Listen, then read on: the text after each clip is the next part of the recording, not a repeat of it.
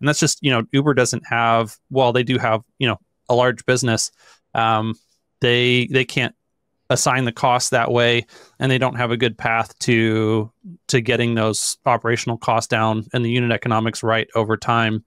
Um, and that obviously puts tesla at a huge advantage. Just going back to the point that you mentioned on like the product reveal it, it, it definitely seems like tesla it's, it's learning from the past. You know you had the roadster that's still yet to be delivered and then also the the cybertruck that um, came a couple of years after it was announced and now we have a new product launching at the beginning of, of next year and very little, detail on it, and it looks like it's going to kind of hit the ground running. Um, so it definitely seems like maybe they're learning from past product announcements with the forthcoming uh, low cost vehicle. And I know we've spoken internally about it. There seems to be a lot of confusion between differentiating the Cybercab and, and the, the next uh, gen low cost vehicle. But um, in my opinion, it seems like it'll be like a low cost kind of stripped down Model 3, Model Y with the steering wheel. And um, ultimately probably support their vehicle growth that Elon said on the call of the 20 to 30 percent. Yeah.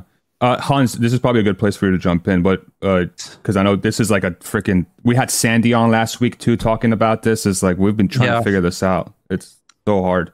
Well, I'm definitely in alignment with Daniel on this. I think that that it'll be something that's halfway in between the Cybercab and the Model 3 and the Model Y most likely and at least one you know there's there's so much ambiguity in the specific statement in so many different ways that it can be interpreted but I think that makes the absolute most sense to me especially when you think about the the supply chain constraints. Like how do you ramp from 2 million vehicles a year in 2023 to at least um, having a million cybercab capacity run rate at the end of 2026 and potentially more out of just one factory like you've got to do something to get that supply chain kind of built up between here and there.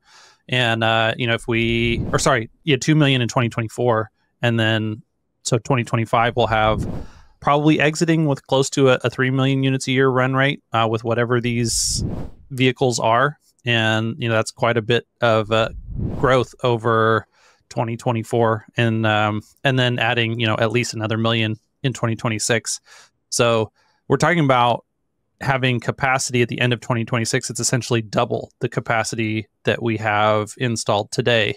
And you know that's just huge. And if you're going to do that you've got to progress smoothly in stages. You've got to utilize all of your existing infrastructure wisely. Um, and so that that absolutely makes the most sense to me.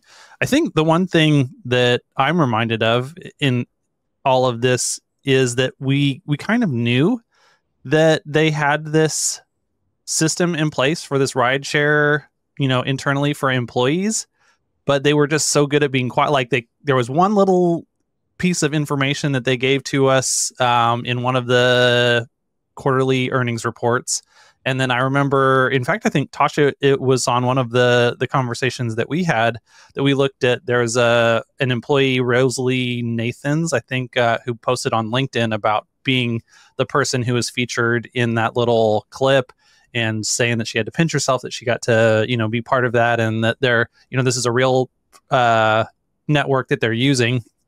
But when you combine that with the fact that you know they have to do all sorts like we know that Tesla has in-house drivers that are doing validation of the latest builds of FSD and so they're you know they are driving and they're paying these drivers anyways so why not if you're having drivers driving around well they should be giving employees rides like that's obviously the most efficient use of resources and capital and Tesla's all about efficiency. And so like all of the common sense things were there. All like we we knew that they had the app ready to go a while back. We knew that all the pieces were in place.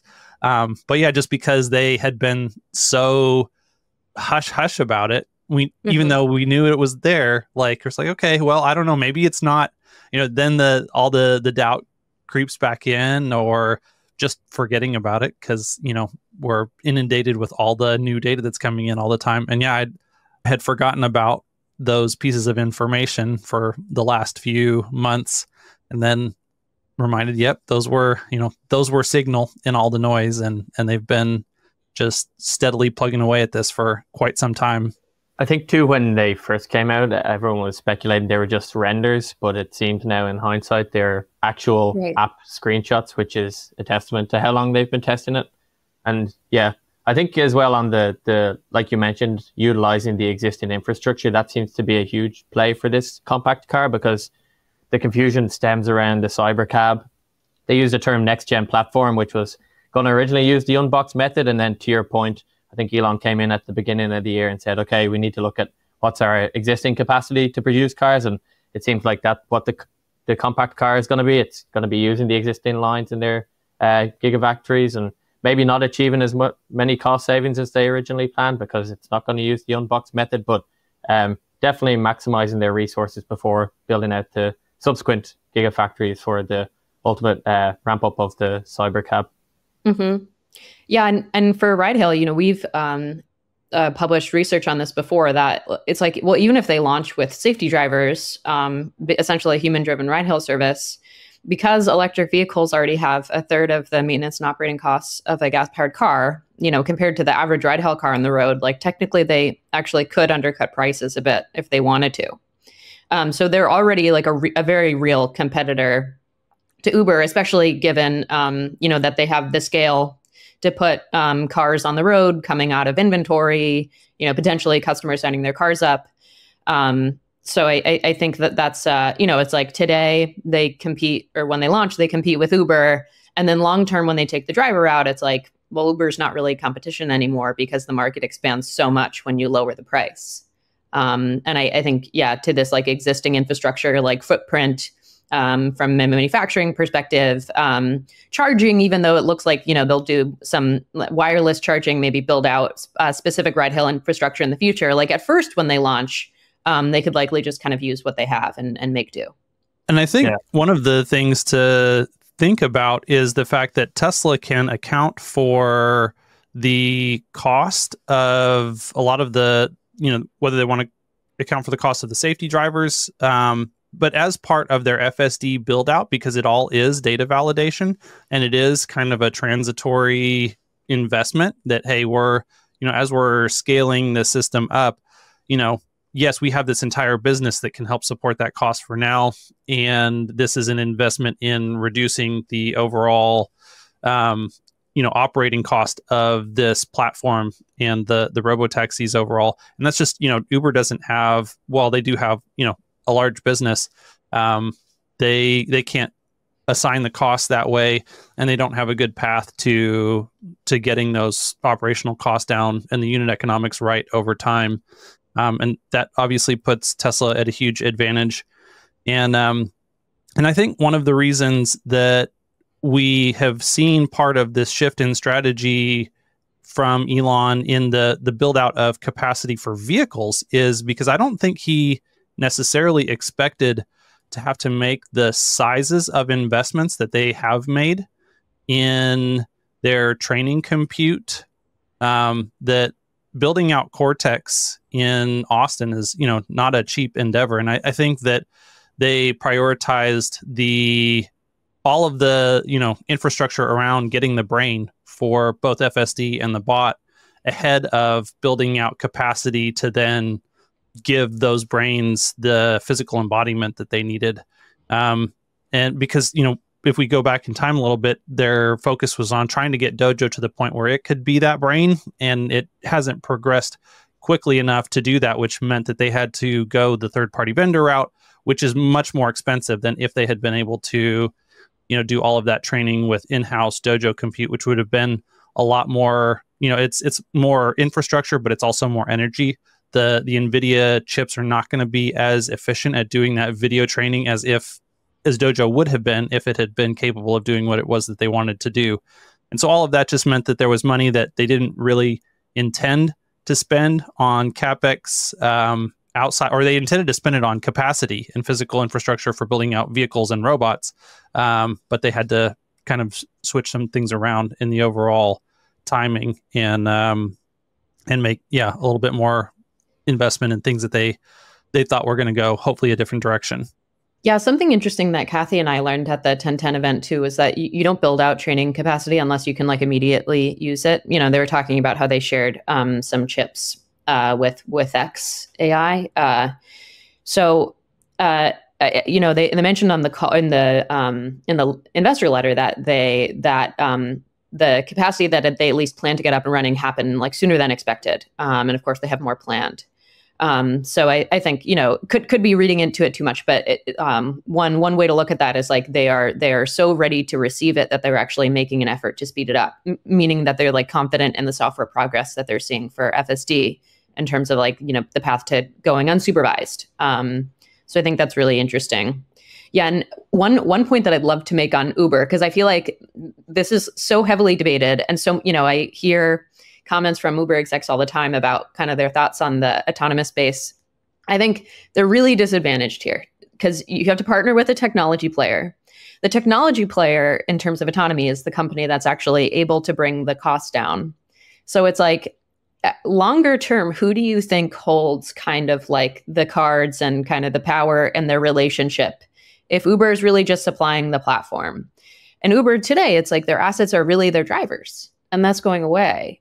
Um, and even I was thinking about this, like even from um, like a network optimization perspective. First of all, like I don't think it's trivial to launch a ride hail platform and do routing appropriately and like please your customers. I don't think that's trivial. I just think it's an easier problem to solve than solving for full autonomy. And and actually in an autonomous platform and, and what Tesla plans to do, like you have so much more control over your fleet because it's not people. I mean, sure, you have customers supplementing demand with their own vehicles, but you decide how many cars you want in a city. It's not like based on driver signups, right? So I, I do think there's actually like even more optimization that they can kind of squeeze out of ride hail that we're just not seeing today. Yeah. I know. Go ahead, Daniel. Oh, on the routing optimization too. I mean, they do it today with superchargers. When you click to go to supercharger, you can see how many vehicles are on the way, how many there'll be when they're there. Um, so there's definitely capabilities they can leverage Tesla that they use today. Yeah, I've I've long been on the train that Uber's dead. I just like I, I just don't understand the value proposition. And like let's let's role play this, right? Let's say Uber does become a place where you can offer uh, self-driving vehicles. Let's say, right? It's going to be on the same network as the as the places where people have cars, like driver drive people drivable vehicles, right? Whatever we want to call them, manual vehicles. Okay. So what does what what is that going to do? That's going to artificially inflate the price of the self-driving vehicle to match the market demand for whatever that is, right? So like you're introducing lower cost pieces into this network, and yet, but you're still going to uh, sell it at whatever the market is demanding. And so if there's not another player out there that's doing a purely self-driving, you're still going to be okay. You're just going to increase your profit margin, right?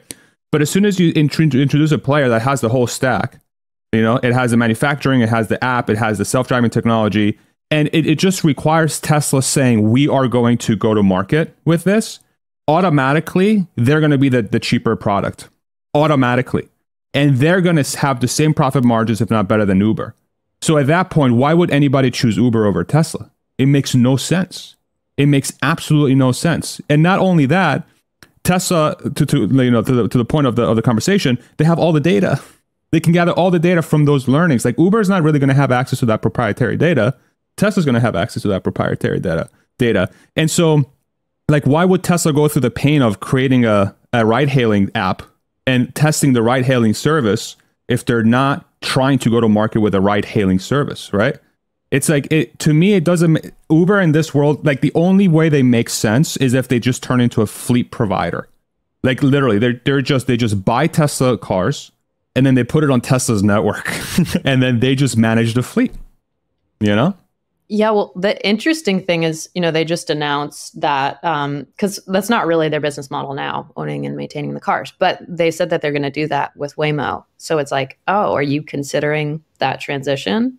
And yeah, I mean, I, I totally agree. And I, I think the fact that Waymo need, feels like they need to partner with them, and you know, let's like argue on the other end, like maybe it's a Trojan horse. Maybe they're just kind of learning about the network, and then they're going to say, yeah, no thanks. Um, we're going to keep our own platform here, but I think the fact that they're doing it kind of is like, uh, you know, showing that they they're the scale that they have is hard to actually please customers in the cities that they're operating in. So they need that support from Uber.